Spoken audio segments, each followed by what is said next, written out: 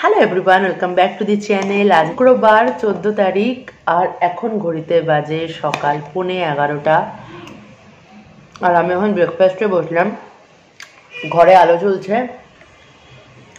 আলোটার আছে খুবই প্রয়োজন কারণ বাইরে পুরো মেঘলা, পুরো অন্ধকার হয়ে রয়েছে।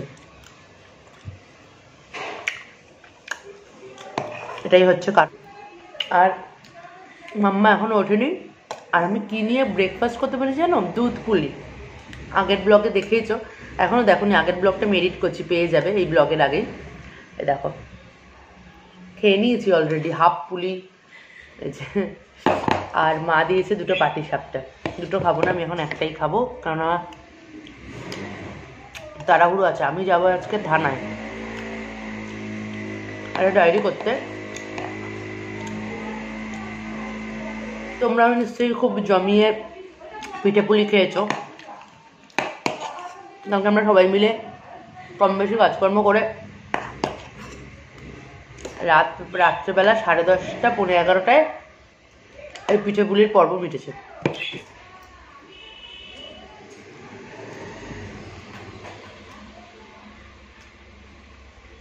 বিভৎস মেঘলা মনে হচ্ছে শীত পড়েছে, পড়লে যেরকম একটা ওয়েদার হয় না, ভোরের দিকে। শীত পড়ার পর পর পর পর ওরকম। পনেরো এগারোটা বাজে, কে বলবে?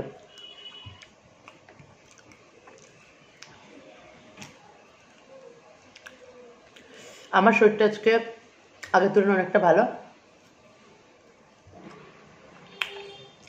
যখন একটু ঠান্ডা ঠান্ডা মানে গেটের সামনে যাচ্ছে, একটু ভোরের হাওয়া মানে সকালের হাওয়াটা যদি লাগে, বা একটু অতিরিক্ত হাওয়া লাগবে তখন একটুখানি গলাটা ধরছে। তাছাড়া কোনো সমস্যা নেই। আমি একদম ফিট অ্যান্ড ফাইন আছি। এগুলো খেয়ে আমি বেরাবো এক জায়গায়, সেটা হচ্ছে আমি দুটো জায়গায় যাব। ইচ্ছা আছে। আমি জানি না কতটা কাজ কমপ্লিট হবে। ফার্স্ট কাজ যেটা আমাকে করতে হবে, সেটা হচ্ছে আমি বীজপুর যাব মানে থানায় যাব। কারণ ওখানে ডায়েরি করতে হবে।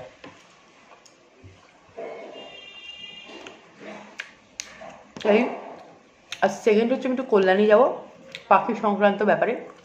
আমি জানি না আজকে আমার কল্যাণী যাওয়া হবে কি হবে না। কারণ থানায় কতটা টাইম লাগবে আমি তো বুঝতে পারছি না। ওই জন্য এগুলো কাজ করব। তুমি কী কারণে থানায় যাব? সেটা তোমাদেরকে আমি থানা থেকে ফিরে এসে বলব। কেন যাচ্ছি? হঠাৎ কেন আমাকে থানায় যেতে হচ্ছে এই সাত সকালে? আমি একটা বড় সমস্যায় পড়ছি। ভাবো তাহলে আমার ব্রেকফাস্ট কমপ্লিট কথা বলতে বলতে ব্রেকফাস্ট হয়ে গেল।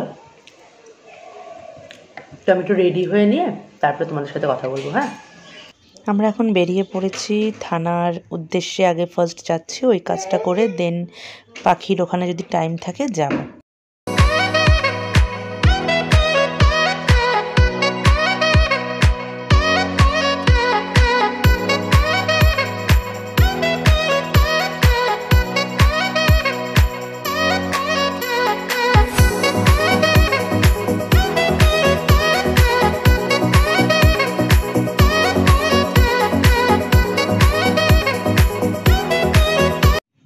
তো থানার কাজ আমার কমপ্লিট হয়ে গেছে। এখন আমি যাচ্ছি একটু পাখি দেখতে। দেখি যদি ভালো লাগে তো সব ঠিকঠাক লাগে তো ওখান থেকে নেব।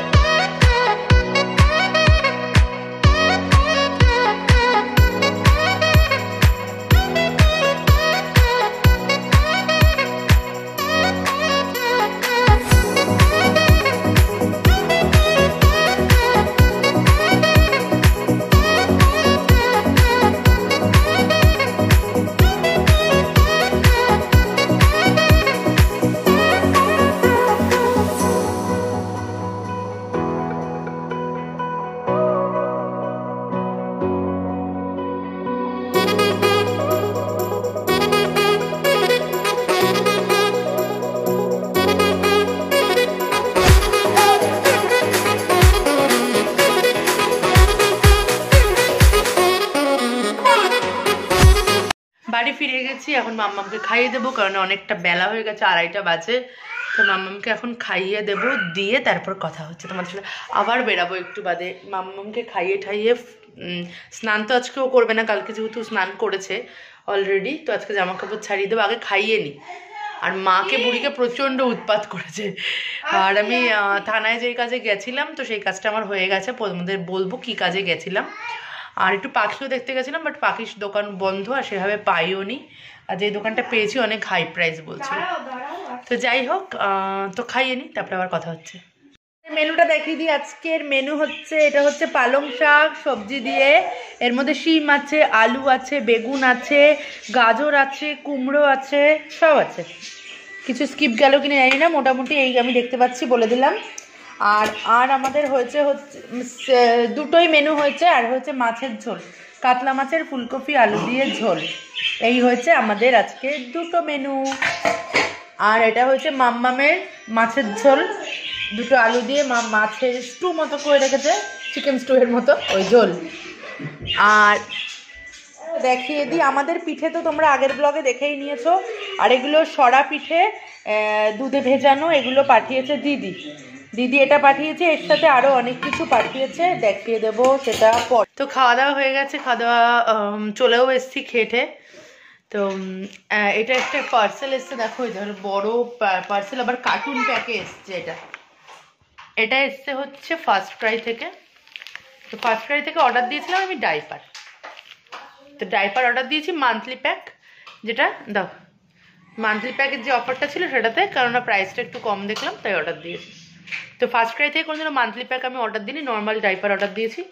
আর ফ্লিপকার্ট থেকে অ্যামাজন থেকে আমি ডাইপার অর্ডার দিয়েছি মান্থলি প্যাক হ্যাঁ এগুলো আজকে কিছুই তোলা হয়নি। তো কিন্তু কোনোদিনও কার্টুন প্যাকে আসেনি। তাই তোমাদের দেখালাম যেরকম কার্টুন প্যাকে এসছে। আমিও খুব এক্সাইটেড কার্টুন প্যাকের মধ্যে কিরম এটা নর্মাল ডাইপার এরকম কার্টুন প্যাকে কেন দিয়েছে? সেটা দেখার জন্য আমিও এক্সাইটেড তাই তোমাদের সামনেই কাটবো। এই দেখো আরেকবার দেখিয়ে দিই বক্সটা এই যে। এটা পুরো কার্টুন আছে ভেতরে। এই বক্সটা কাটার জন্য। এটা ইয়া, বড় বক্স এসছে, ইয়াহা। কি বলে এটা? কত বড়? এটা বড় বক্স এসছে, এটা কাটার জন্য বসে পড়েছি। তো এটা এখন কাটবো আমি।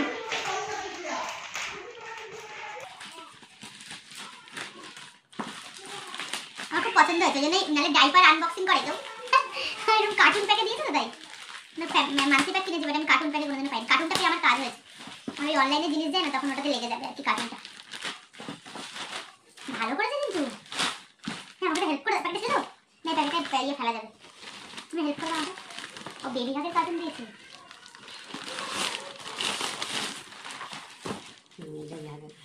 ও তো দেখে নিলে এটা হচ্ছে বেবি হাগের একটা ডাইপার আমি অর্ডার দিয়েছিলাম খুব ভালো বাবু, যখন খুব ছোট ছিল আর কি মানে দু মাস, তিন মাস, চার মাস এরকম এজে তখন আমি বেবি হাগের ডাইপার বাবুকে ইউজ করাতাম। খুবই ভালো, খুবই অ্যাফোর্ডেবল প্রাইসে তার থেকে বড় কথা হচ্ছে ওই যে টয়লেট একটু বেশি হয়ে গেলে যেটা যেটাখানে ভেজা ভেজা ব্যাপারটা থাকে না, সেটা থাকে না এই- এই ডাইপারগুলোতে তারপরে আস্তে আস্তে আমি ওকে ডাইপারই পরাতাম পড়াই বেশি। ছোট থেকেই পরে ডাইপার পরানো ভালো না বলে। জানি বাট আমি ওকে ডাইপার পরাই কারণ নয়তো ওকে আমাকে ছেড়ে আর ও কি করে মানে একটু চোখের একটু আড়াল হলেই না ওই মানে টয়লেট ধরে গা হাত পায়ে লাগায় টাকা এসব করে। তা খুব গরম পড়ার আগের কথা বলছি যেহেতু অক্টোবরে হয়েছিল তারপরে নভেম্বর ডিসেম্বর জানুয়ারি ফেব্রুয়ারি মোটামুটি ঠান্ডাই পেয়েছি। তো আমি পুরো তখন ডাইপারই পরিয়েছি আমি খোলা রাখতাম না ওই মুহূর্ত মানে ওই সময় ছোট ছিল যখন ও। তো আমি অনেক ধরনের ডাইপার ইউজ করেছি ম্যামি পোকোটা তো বাবা, চুপ করো একটু। ম্যামি পোকোটা তো অবভিয়াসলি ভালো। হ্যাঁ।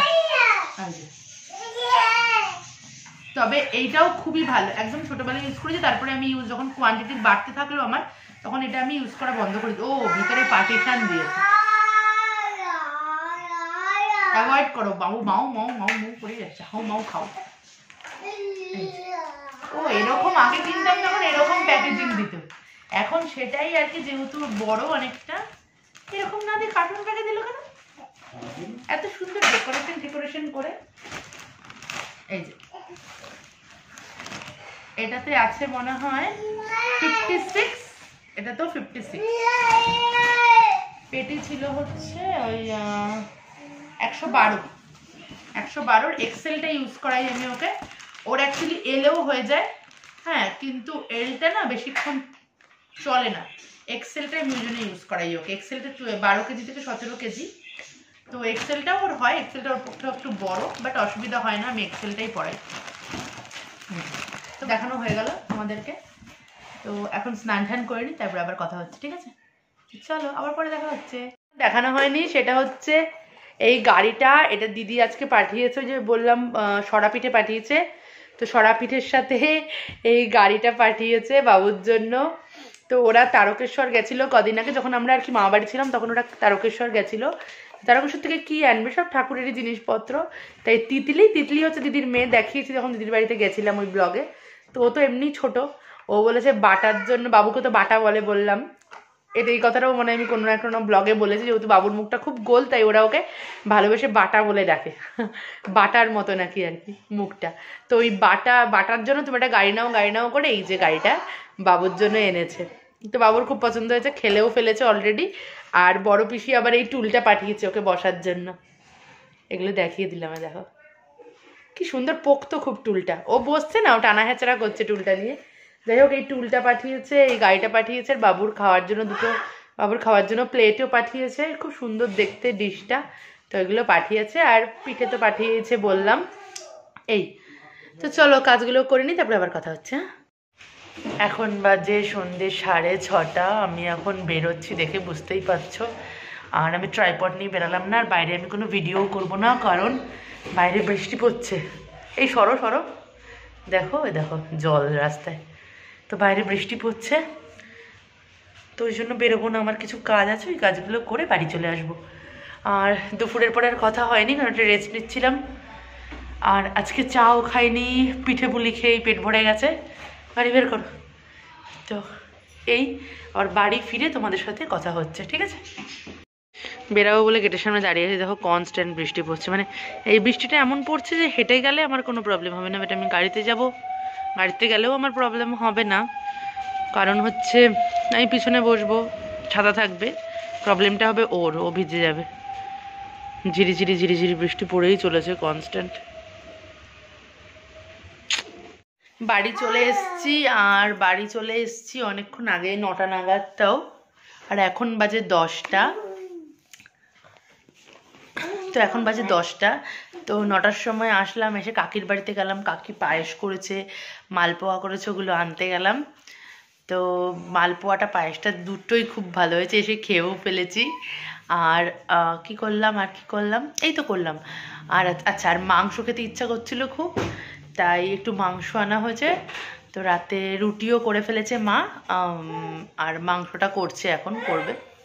তো রাতে আজকে রুটি মাংস হবে লাঞ্চে এই সরি ডিনারে ডিনারে না বাবা না এই আরেকটা যেটা কথা সেটা হচ্ছে আমি থানায় কেন গেছিলাম আর কি এটা তোমাদের সকালে আমি বলেছিলাম ভিডিও শুরুতে তো মাঝে আর বলা হয়নি ভুলেই গেছি আবার এখন বলছি সেটা হচ্ছে গেছিলাম কয়েক মাস আগে আমার একটা ফোন চুরি হয়েছিল হ্যাঁ তো কয়েক মাস আগে আমার একটা ফোন চুরি হয়েছিল ট্রেন থেকে তো আমি সেটা আর কি কমপ্লেন করেছি, যাই হোক কমপ্লেন করা হয়েছে। নর্মালি যেমন ফোন আর কি চুরি হলে মানুষে কমপ্লেন করে। তারপরে সেই সিম দুটো আমি আবার তুলেও নিয়েছি। একটা জিওর ছিল, একটা এয়ারটেল ছিল, কি ভোডাফোন এরকম কিছু একটা হবে ছিল। তো আমি তুলেও নিয়েছি যথারীতি এই এই করে ব্যাস হয়ে গেছে নর্মালি তো ফোন এখনও আমি পাইও নি। কিন্তু কি প্রবলেম হচ্ছে? ফোনটা চুরি হওয়ার মাসখানেক বাদ থেকে আমার একটা প্রবলেম হচ্ছে। সেটা হচ্ছে হয়েছিল, সেটা হচ্ছে আমার কাকিমার ফোনে আর আমাদের পাড়ার একজনের ফোনে ফোন আসছিল। মানে নয় আমার নাম করে, নয় আমার হাজব্যান্ডের নাম করে যে এরকম ওদেরকে আপনি চেনেন? এটা, ওটা, সেটা মানে একটু পার্সোনাল কিছু কথা বলছিল পার পার্সোনাল না। মানে এটা ওটা জেনে বলে উল্টোপাল্টা কথা বলছিল। তো মানে আমি কি করে বুঝলাম যে আমার ফোন চুরির সাথে এটা মানে এটার সাথে লিঙ্ক আছে? কারণ আমার কন্ট্যাক্ট লিস্টে যেইভাবে নামটা সেভ করা ছিল মানে যার কথা বলছি, পাড়ার একজন ফোন করে পাড়ার একজনকে ফোন করেছিল, যে রূপা পিসি, ওনার নাম রূপা। তো আমি যথারীতি রূপা পিসি বলে সেভ করে রেখেছি। তো ফোন করে বলছে আপ রূপা পিসি? মানে হিন্দিতে বলছে আমি তোমাদের বাংলায় বলছি। সেটা বলছে আপনি রূপা পিসি বলছেন? আপনি চেনেন একে? ওকে? মানে এরমভাবে ফোন করে করে মানুষকে বিরক্ত করছিল। তো যথারীতি আমি না খুব একটা এক একদিন দুদিন করেছে এরকম দুদিন করেছে। তারপরে আমি ভাবলাম যে থানায় একটা ডায়েরি করে যে এরকম একটা প্রবলেম হচ্ছে আমার। তারপরে করব করব করে পুজো চলে আসলো। আমার আর গাফিলতিতে আমার আর হয়নি। তারপরে জিনিসটা বন্ধও হয়ে গেছে দুদিন পর। এখন আবার রিসেন্ট হচ্ছে, যেটা কালকে হয়েছে, আমার পিসির মেয়ের কাছে একটা ফোন এসছে, আর আমার অঙ্কিত মানে অঙ্কিতার কাছে একটা ফোন এসছে। অঙ্কিতা হচ্ছে মা বাড়িতে গেলাম যে, ওই রানাদার বউ, ওই অঙ্কিতার কাছে একটা ফোন এসছে, আর পিসির মেয়ের কাছে, মামের কাছে একটা ফোন গেছে। যে আমার নাম করে এখন শিল্পা করকে আপনি চেনেন? বলে এটা টাকা পয়সা সংক্রান্ত কোনো কথা। মানে এরকম টাকা পয়সা আমার থেকে নাকি সে পায় বা এরকম কিছু, এরকম কথা বলছে ফোন করে করে, ঠিক আছে? তো আমি তখন আমি তখন কি মানে সেটা হওয়ার পরে আমি খুব চিন্তায় পড়ে গেছি যে এরকম আবার শুরু হয়েছে। হ্যাঁ আমার কন্ট্যাক্ট লিস্টের থেকে নাম্বার নিয়ে নিয়ে এরকম করছে তাই থানায় আমি গেছিলাম একটা ডায়েরি করতে যে এরকম এই এই কন্ট্যাক্টের কন্ট্যাক্ট নাম্বার থেকে আমার কাছে ফোন এসছে ফোন যাচ্ছে। আর মেনলি কি বলতো আমার ওই ফোনের মধ্যে না হয় না voter ID PAN card Aadhaar card এরকম পিকচার তোলা থাকে আমার কাছে তোলা ছিল। আর আমি ওগুলো ডিলিট করিনি। ওগুলো ওগুলো আমি ডিলিট করিনি তো ফোনেই রয়ে গেছে। এবার যার কাছে ফোন রয়েছে, সে তো আমার ডকুমেন্টটা দেখতে পাচ্ছে, আবার নাম দেখতে পাচ্ছে, তারপরে আমার কন্ট্যাক্ট লিস্টে যেগুলো যেগুলো আছে, এরকম। মানে কিছুভাবে ওরা সে জানতে পারছে বা কিছু বদমাইশি ওরা করছে। তো এটা নিয়ে কালকে সারাদিনই একটু টেনশনে ছিলাম, বিকালের পর থেকে একটু টেনশনেই ছিলাম। যতক্ষণ ডায়েরি না করতে পারছিলাম, তাই ডায়েরিটা করতে গেছিলাম। তো থানা থেকে বলল, ঠিক আছে, করে যান। আমি কন্ট্যাক্ট নাম্বারগুলো দিয়ে আমি ডায়েরি করতে যাচ্ছিলাম, করে, করতে যাচ্ছিলাম আর কি। কিন্তু ওরা কন্ট্যাক্ট নাম্বার দিয়ে আমার ডায়েরি নিল না। নিল না। ওরা বলল কন্ট্যাক্ট নাম্বার দিয়ে ওভাবে ডায়েরি নেওয়া যাবে না। আপনি একটা ডায়েরি করে যান যে এরকম প্রবলেম আপনার হচ্ছে। যদি ভবিষ্যতে আপনার কোনো এই সংক্রান্ত প্রবলেম হয়, তো এই নাম্বারগুলো তখন আপনি দেবেন। তো নাম্বারগুলো আপনার কাছে রাখুন। তো যাই হোক, আমি ওরা যে, ওদের যে রুল রেগুলেশন আছে, তো সেই হিসাবে আমি করলাম। বলছে হ্যাঁ আপনি যদি কাউকে মানে বলতে চান যে এ করছে বা এ ডাইরেক্ট তো সেটা আপনি করতে পারেন। কিন্তু ওরকম নাম্বার ওয়াইজ ওরকমভাবে করা যাবে না। যাই হোক, থানার ওরকম রুলস সেই অনুযায়ী আমি ডায়েরি করে এসেছি। আর আজকে আমার কাছে কোনো ফোন এখন অবধি আসেনি মানে কেউ আমাকে জানায়নি যে এরকম কাউকে ফোন করেছে বা কিছু। সেই জন্য আমি কালকে হোয়াটসঅ্যাপে একটা স্ট্যাটাসও দিয়ে দিয়েছি অলরেডি যে এরকম আমার কন্ট্যাক্ট লিস্টে যারা আছে, তাদের কাছে যদি এরকম ফোন যায়, তো অবশ্যই আমার সাথে তারা কন্ট্যাক্ট করে। কারণ সে তো আমাকে ভুল বুঝতেই পারে না যে আমি তার নাম্বারটা তাকে দিয়েছি কেন বা আমার সম্বন্ধে আদৌ কি বলবে না বলবে। তো সেই জন্য আর একটা আমার যদ্দূর মনে হলো, ওরা ফোন করে যা ধরনের টাকা পয়সার কথা টথা গল্প টল্প বলছে, এটা জাস্ট ফেক কল হ্যাঁ আর হচ্ছে মানে এখন হয় না মানে হ্যাকার এরম টাইপ জিনিস আর কি মানে ফোন করে কথা বলে ওটিপি নিয়ে বা কথা বলতে বলতে মানে কোনো কিছু ইয়ে করা আর কি টাকা পয়সা এরম সংক্রান্ত কার- কারণেই ওরা এই বদমাইশিগুলো করছে আর কোনো কিছু না। তাই আজকে যাই হোক, কোনো কিছু হয়নি। তো এই জন্যই আমি থানায় গেছিলাম, সেটা তোমাদেরকে ক্লিয়ার করে বলে দিলাম যে কি কারণে গেছি। তো চলো খেয়ে দিয়ে ভিডিওটা আমি এন্ড করব হ্যাঁ? কথা। আমরা ডিনারে বসছি দেখো মাংস হয়ে গেছে। আর এই যে রুটি নিয়ে বসে পড়েছি ও মাংস মা অলরেডি নিয়ে বসেছে। আর এই যে রুটি পেঁয়াজ লঙ্কা নিয়ে বসেছি। এবার মাংস নিজেদের পছন্দ মতো বেড়ে নিয়ে নেব।